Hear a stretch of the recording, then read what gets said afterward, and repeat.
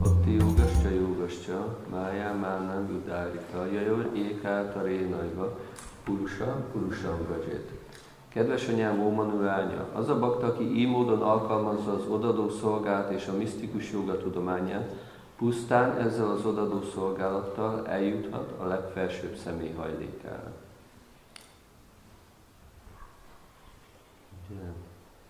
Ebben a fejezetben, ebben a 29. fejezetben hallunk az odadó szolgálatnak a dicsőségéről. A fejezet elején Devahuti feltesz három kérdést. Az egyik kérdés az odadó szolgálatra vonatkozik. Szeretné, hogyha Kapiladév megmagyarázná részletesebben az odadó szolgálatot. A második kérdés arra vonatkozik, hogy milyen az örökidő természete, és a harmadik kérdés arra vonatkozik, hogy szeretné, hogyha megmagyarázná neki az ismétlődő születés és halálnak a folyamatát. És most itt főleg ez a fejezetnek az, az első része, majdnem a végéig az odadó szolgáltat magyarázza, és a végén pedig az időnek a természetéről kezd el beszélni. És ez nekünk nagyon fontos ebből a szempontból, hogy ha akarunk odadó szolgálatot gyakorolni, akkor meg kell tanulnunk ezt úgy gyakorolni, hogy kapjunk is belőle, megkapjuk belőle a megfelelő eredményt. Kapila Dév először elkezd beszélni a kevert odadó szolgálatról, ami a tudatlanság, a szenvedély vagy a jóság kötőjével keveredik. És ezeknek mind a, mindegyiknek az az eredménye, hogy hogy nem kapjuk meg azt az eredményt, amit lehetne, a Isten iránti szeretetet. Kapunk belőle eredményt, valamilyen fajta eredményt, mert még az anyagi cselekedetek se tudnak eredményt adni, hogyha legalább egy pici bakti joga nincs benne, hogyha nincs benne egy kis odadás. Tehát az anyagi cselekedetek, a karma joga csak akkor tud eredményt adni, hogyha van benne bakti. A gyána joga a legfelsőbb megértésére irányuló törekvés csak akkor tud eredményt adni, hogyha van benne valamennyi bakti. Ugyanígy ez a vers beszél a jogáról, a joga is akkor tud eredményt adni, hogy valamilyen mértékű bakti van benne. És minél nagyobb ez a bakti elem, akkor annál, annál jobb eredményt tud valaki tapasztalni. És amikor beszél a kevert odadó szolgálatról, akkor elmondja, hogy mi a tiszta odadó szolgálat, hogy milyen eredménye van a tiszta odadó szolgálatnak. És utána a 15. verstől kezdve pedig elmondja, hogy hogyan, milyen lépéseken keresztül lehet eljutni a tiszta odadó szolgálatig. És utána a 20. 21. verstől kezdve pedig beszél arról, hogy mi a legeslegfőbb akadály, ami megakadályozza, hogy megkapjuk az eredményt, ez pedig a sértések, amikor magunkat különnek tekintjük másoknál, és másokat lenézünk, vagy kritizálunk, akkor valaki nem, hogy csak nem tudja megkapni az eredményt, hanem amit még megkaphatna, azt se kapja meg. És utána megmondja a megoldást, hogy hogy kell tisztelettel bánni minden élőlény, minden élőlény felé, mert mindenkinek a szívében ott van a felső lélek. És utána a 30, a 28. verstől a 36. versig ebbe a részbe vagyunk most, akkor elmondja, hogy különböző szintű élőlények vannak, és ennek a tiszteletnek a mértéke nem ugyanolyan mindenki felé. És egyidejűleg Ugyanolyannak kell látnunk az élőlényeket, mert mindenki a legfelsőbb lélek része, mindenki egyéni lélek a lelki szinten, de a testi megjelenését tekintve van különbség, és ezt a kettőt együtt kell alkalmazni. Az egy, ugye itt Silapropát beszél a magyarázatban az egyidejű egységről és különbözőségről. És ugyanígy kell tudnunk a lelki egységet látni, és kell tudnunk a testi megjelenésbe különbséget látni, és ezt a kettőt egyszerre kell alkalmaznunk. Hogy tisztelnünk kell mindenkit, nem mindenkit ugyanolyan mértékben.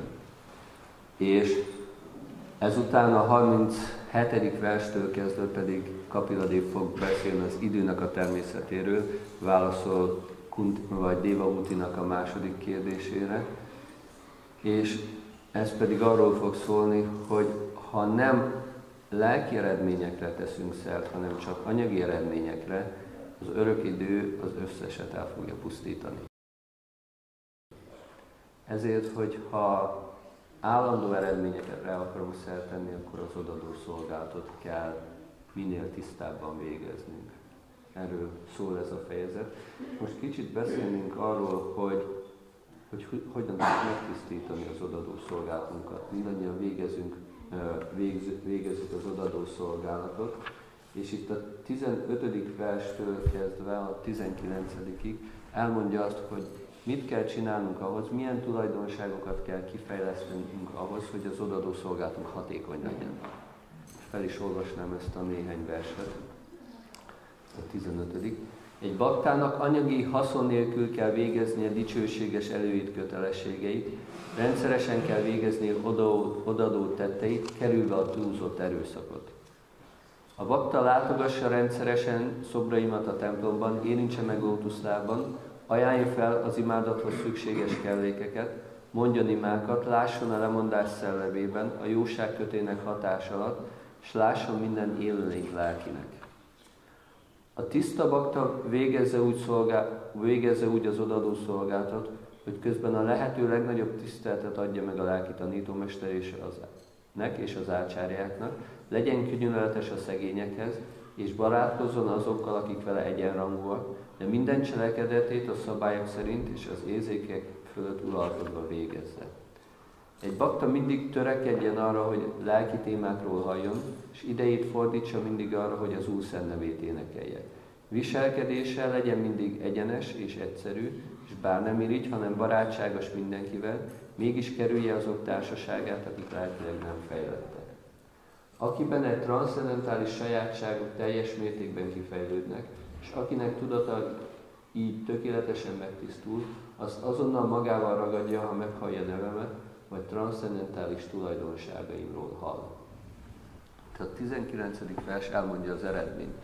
Hogyha valaki gyakorolja ezeket a, a tulajdonságokat, hogy tiszt, megfelelően tiszteletet ajánl másoknak, akkor végzi az odadó szolgált folyamatait, hallgatja a szentírásokat, énekli az Úr szent nevét, jóságkötének hatása próbálja imádni a murtit, akkor, hogyha ezeket a gyakorlatokat végzi, próbálja megtisztítani a létét, amikor, amikor kiejti az Úr szent nevét, akkor azonnal tapasztal magasabb rendű ízt. És ezért fontos, hogy nekünk, amikor végezzük az odadó gyakorlatainkat, törekedjünk arra, hogy ezeket a tulajdonságokat kifejlesszük. A Simad Bhagavatam későbbi énekében, a hetedik énekben is beszél erről a varnásam kapcsán, hogy van 30 tulajdonság, amit hogyha valaki gyakorol, akkor az nagyon hatékonyá teszi az odadó szolgálatát. És meg tudjuk mérni, hogy milyen hatékony az odadó szolgálatunk, hogy mennyi ízt tapasztalunk. És hogyha nem tapasztalunk annyi ízt, amennyit szeretnénk, akkor itt kell keresni a megoldást, hogy erőfeszítést tenni ezekre az odadó lelki gyakorlatokra, mert igazából mindenki akar eredményt. Amikor valaki cselekszik, vagy az anyagi világban, vagy a, a, vagy a lelki gyakorlatok terén, mindenki akar valamilyen fajta eredményt elérni ezek által. És amikor gyakoroljuk ezt, időről időre meg kell állnunk és meg kell néznünk, hogy hát mennyire jól csináljuk azt, amit csinálunk az a törekvés, amit teszünk, az megfelelő-e, mit kell másképp csinálni, hogy jobb eredményt kapjunk. És ebbe a fejezetbe Kapila Dév ad nekünk egy nagyon hatékony segítséget, hogy megmagyarázza, hogy mire kell odafigyelnünk, és a 21. verstől kezdve pedig megmondja azt, hogy mit kell nagyon elkerülnünk. Tehát, hogy besz, amit az előbb említettem, hogy mire kell törekednünk, és a 21. verstől pedig elmondja azt, hogy mit kell nagyon elkerülnünk. A felsőleként jelen vagyok minden élőlényben, ha valaki nem törődik-e mindenhol jelenlévő felsőlekkel, vagy semmivel veszi őt, és közben imádja a múltit, az nem több puszta utánzásnál. És Visvanát Csakravati Takur az egyik lelki tanítónk, amikor magyarázza ezeket a verseket, ezt a elkövetkezendő négy verset, akkor mondja, hogy ennek a, ugye a sértésnek is van négy fokozata, hogy milyen mértékben hagyjuk figyelmen kívül a felső lelket és a, a lelket, aki ott van minden élőlény szívében. És mondja az első, hogy ha avamáni, vagy avagja, az azt jelenti, hogy, hogy szó szerint, hogy lenézünk valakit. Hogy nem olyan súlyosan, de úgy gondoljuk, hogy én jobb vagyok, mint ő, és lehet, hogy kívülről helyesen viselkedek vele, de belül én jobbnak gondolom magamat nála.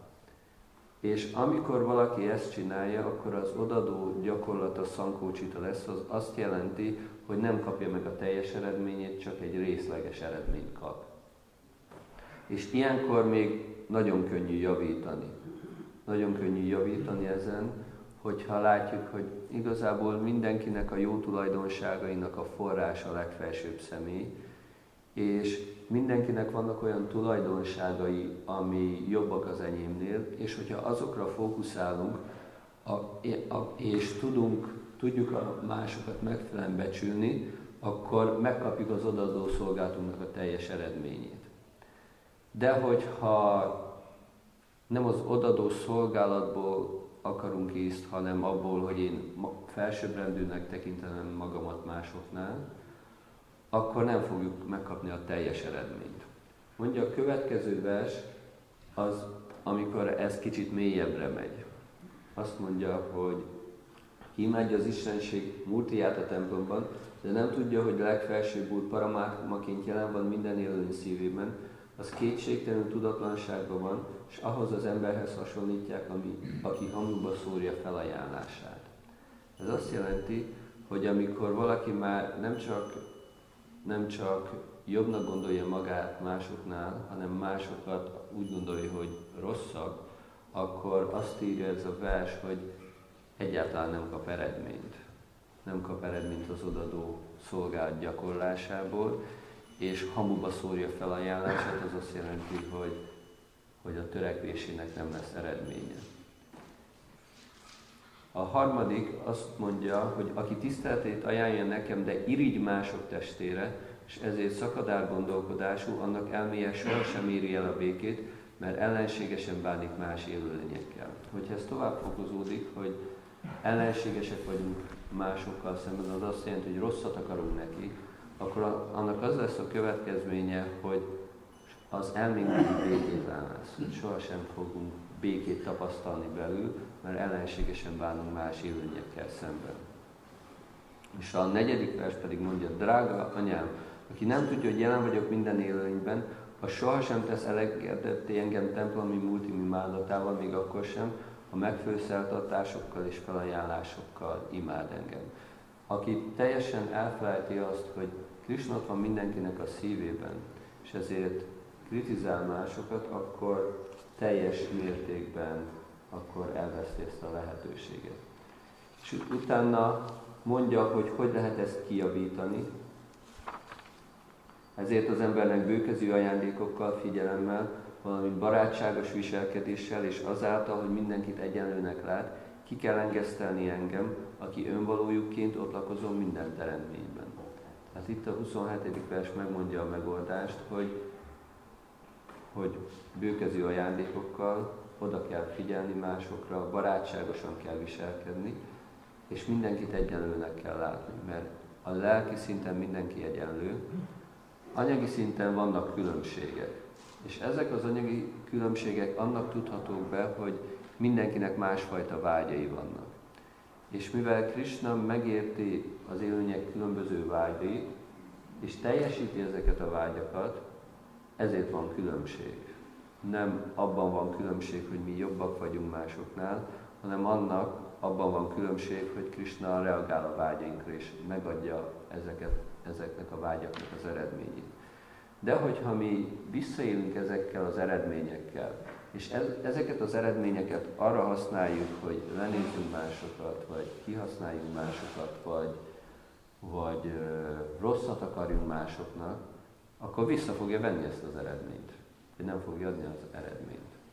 És ezért nagyon fontos, hogy, hogy lássuk a teljes képet. Lássuk azt, hogy, hogy Krishna adja az eredményt, Krishna tudja megtisztítani a szívünket, mi megtehetjük a megfelelő erőfeszítést a lelki gyakorlatok terén, és hogyha igazi eredményt szeretnénk, akkor helyesen kell bánni mindenki mással is, aki körülvesz bennünket. Hallottam még egy mondást nagyon régen, hogy ha nem tudjuk szeretni azt, akit ö, látunk, akkor nem fogjuk tudni szeretni azt, akit nem látunk. Ugye mi törekszünk arra, hogy a legfelsőbb személy irány kifejezzük a szeretetünket, de ez együtt kell, hogy járjon azzal, hogy próbálunk megfelelően viselkedni, tiszteletet és szeretetet mutatni azok iránt, akiket látunk, akik körbevesznek bennünket, a családtagjainkat, a, akivel, akikkel együtt szolgálunk, de akikkel kapcsolatban vagyunk nap, mint nap. És Krishna nézi, hogy hogy viselkedünk velük, milyen hangulatban viselkedünk velük. Ajánljuk el a tiszteletünket nekik. És hogyha elégedett mindezzel a törekvéssel, akkor meg fogjuk kapni az eredményt. Hogyha nem elégedett ezzel az eredménnyel, akkor amilyen mértékben nem elégedett, akkor olyan mértékben nem lesz meg ez az eredmény. Ugye nagyon érdekes ebből a szempontból a Mundicsa Márcsának a története, ami a Indiában, Csaganárpuriban a egyik templomnak a megtisztításáról szól a Szekérfesztiválra. És az Úr Csétanya Mahaprabhu Krishna, itt volt 500 évvel ezelőtt, akkor bemutatta azt, hogy, hogy az egyéni erőfeszítésünk az egyik része az odadó szolgálatban való fejlődésünknek, de a másik része pedig a legfelsőbb személykegye. És Sri Chaitanya Mahaprabhu Krishna egyedül több koszt gyűjtött össze abban a templomban, mint az a sok-sok bakta együttvéve. És ez jelenti azt is, hogy mi próbálhatjuk tisztítani a saját szívünket, de a végső eredmény Krishna kezébe van. Ő tisztítja meg a szívünket. Van egy másik vers a Simad Bhagavatamban. Sindvatár Szvakatá Krishna Punya Savana Kirtana Ridjantasztója Badráni Vidunóti Szilutszatán. Ez a vers arról szól, hogy amikor valaki hall a legfelsőbb úrról, akkor Krishna nagyon elégedett ezzel a hallással, és ő maga felsőlekként, aki ott van mindenkinek szívében, megtisztítja a szívünket a tisztátlanságoktól. Tehát, hogy Krishna kezébe veszi ezt a folyamatot, és, és segít.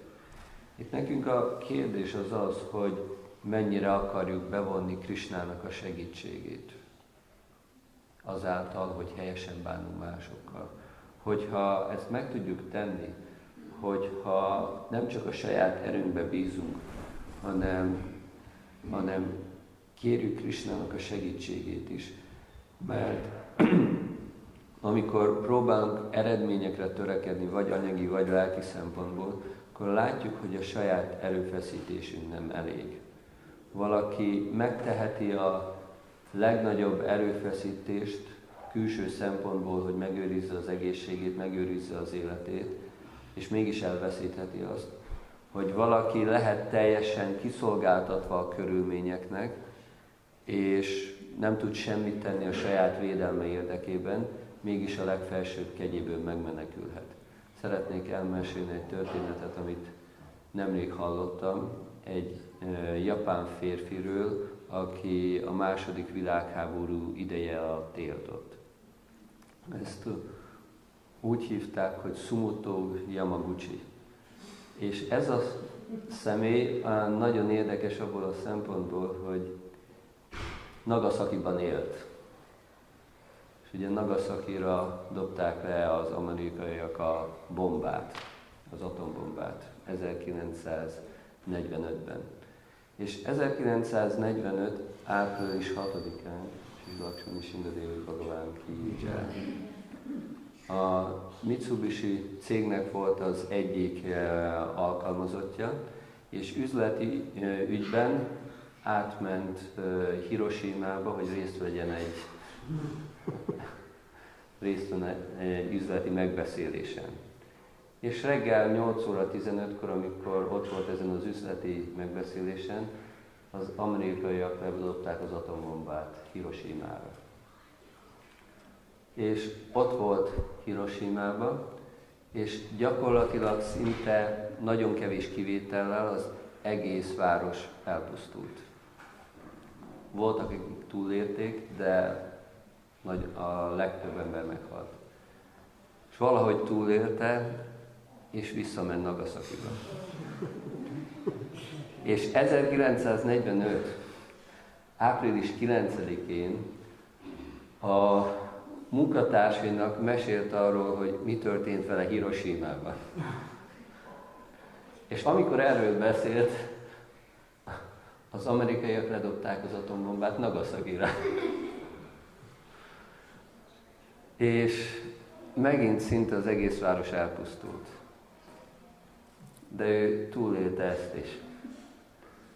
És 1958-ban elismertük őt először, hogy túlélte a Nagasaki atomtámadást, atombomba támadást, de később azok, akik adták neki ezt a elismerést, akkor megtudták, hogy nem csak a, az egyiket, hanem a másikat is túlélte. És végül 2010-ben hagyta el a testét 93 évesen. Azt hiszem valamilyen gyomor, gyomorrákja lett végül.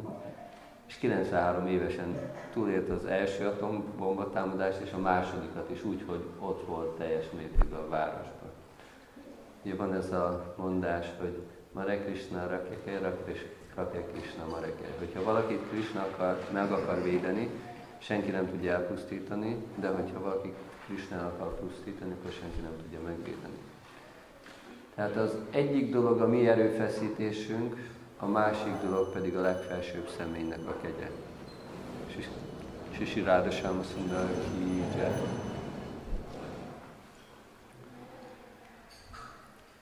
Ugyanígy nekünk, amikor végezzük a lelki gyakorlatainkat, az egyik rész a saját törekvésünk. Hogy megtesszük azt, hogy, hogy végezzük a lelki gyakorlatainkat olyan tisztán, amilyen tisztán lehetséges. Ez az egyik része. A másik része, hogy tiszteletet és becsületet mutatunk mások iránt, ugye mert mások is a legfelsőbb személyhez tartoznak. Ők is Krisnának a szolgái, van, akik tudnak erről, van, akik nem tudnak erről.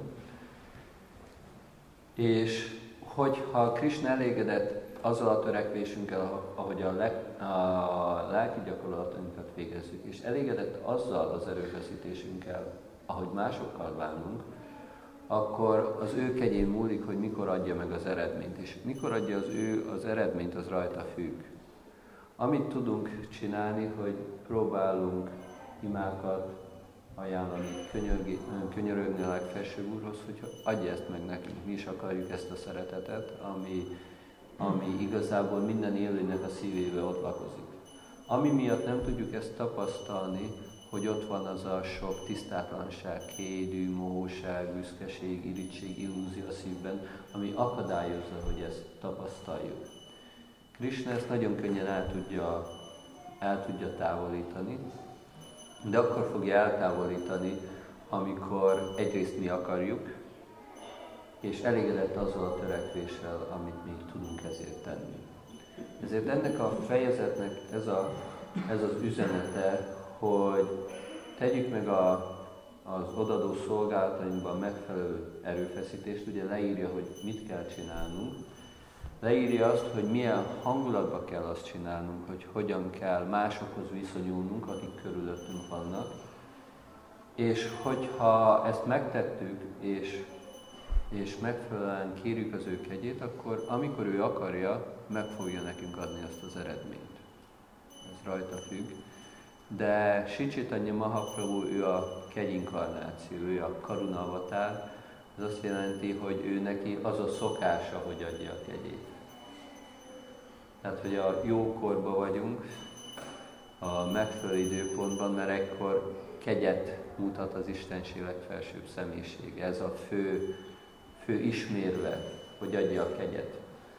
És ezért, hogyha mi jelentkezünk ezért a kegyért, hogy ugye benyújtsuk a pályázatunkat, hogy mi szeretnénk ezt a kegyet, és megtesszük azokat a nagyon minimális elvárásokat, hogy meggyakoroljuk a Szent az éneklését, ami ennek a kornak a, a gyakorlata. Ugye itt ez a vers, amit felolvastunk, beszél a, misztikus jogáról. Ez nagyon komplex gyakorlat, nagyon részletes, és hogyha valaki valamit nem úgy csinál, akkor már nagyon könnyen nem, nem kapja meg azt az eredményt. Ebbe a Kali Yugába, ebbe a képmutatás és veszekedéseknek a korába a fő gyakorlat, hogy énekeljük Isten neveit. És amikor valaki ezt úgy csinálja, hogy közben próbálja elkerülni azt, hogy másokat kritizál, másokat sérteget, akkor nagyon könnyen, könnyen tud előre haladni az odadó szolgálat útján. Köszönöm szépen a figyelmet, van esetleg valakinek kérdése, hozzáfűzése? Igen? Ajánlok egymásnak a oldalatunkat, hogy hallottam a közelezőt, és felső életnek ajánljuk igazából, de akkor nem értem, hogy miért balkát mondjuk. Hát, így mi, mi kellene az meg a fejemben, vagy baktáknak a fejébe ilyenkor? Mhm. Hát az volt a kérdés, hogy amikor ajánljuk a tiszteltünket egymásnak, akkor hogyan kell gondolkodnunk közben a egyéni léleknek kell ajánlani a tiszteletünket, vagy a felső léleknek, vagy mindkettőnek. Ugye itt, a, amikor mondjuk ezt a verset, amit említettél, a Van csak a Tarubjascsa vezető verset, akkor tiszteltet ajánlunk a vaisnaváknak. És a vaisnavák ugye az egy, az, a vaisnava a lélek, aki aki próbálja gyakorolni az odadó szolgáltat, és próbálja szolgálni Krisnát. Úgyhogy mi tiszteltünket ajánljuk a vajsnaváknak, és tiszteltet ajánlunk a legfelsőbb léleknek és a felsőleknek, Krisnának, aki, aki ott van minden egyes élőnynek a szívében. Tehát, hogy mind a kettőnek ajánljuk a tiszteletünket, az egyéni léleknek és a felsőleknek egyaránt. És amikor ezt rendszeresen csináljuk, akkor Krishna fel fogja fedni magát mert Krishna ő, ő viszonozza az odadásunkat. Hogyha valaki akarja látni Krishnát minden élőny szívében, és helyesen viselkedik, akkor Krishna meg fogja mutatni magát. A Simon Bhagavatam 7. énekében olvassuk Pralád Maharaj történetét, és Pralád Maharaj tudta minden élőny szívébe látni a felső lelket, konkrétan.